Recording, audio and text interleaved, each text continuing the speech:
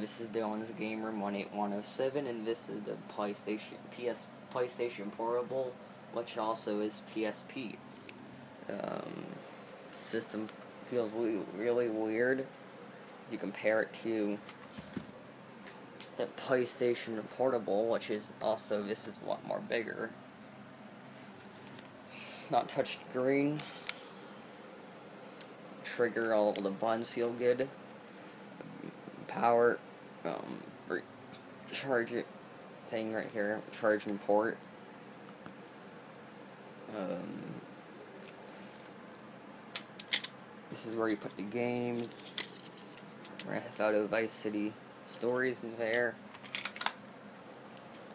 Um, else? Um, headphone jack slash headset jack.